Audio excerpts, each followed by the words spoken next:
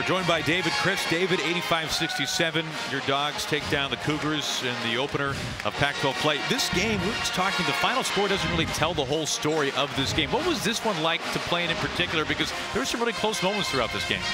Yeah, it was, um, you know, WSU, UW rivalry, and um, them, you know, the, those guys came out, you know, gave us their best shot, and um, you know, they came out with a lot of energy and um, knocked down some threes, a lot more threes than we wanted them to hit.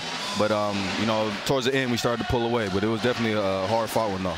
Now, David, you said UW Washington rivalry. It looked like you had made up your mind you was going to come out and put in some work. You came into this game averaging nine and a half. You end up with 23.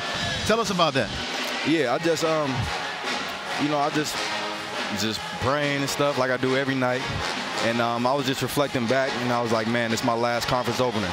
And um, I just wanted to come out and set the tone right for the rest of the season and um, just lead my team to a win, do whatever it took. And, you know, I happened to get the ball going in the rim. Now, you say your last conference opener. That, that makes me realize that you're, you're going to seize this moment in your senior season. You're going to take full advantage of these last 17 conference games. Am I right? No doubt, man. I'm, I'm enjoy it all. I'm enjoy it all. Now, David, was that your mother that you hugged immediately when you came off the court? She seemed about as she seemed about as invested in this game as anybody on your bench. Of course, of course.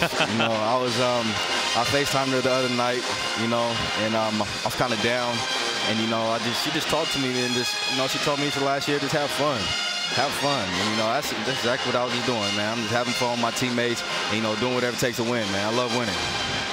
Well, David, thank you for joining us. Congrats on the win, 85-67. Dogs over the Cougs. Thanks so much. Yes, sir. Thanks. Thanks for having me. Take care.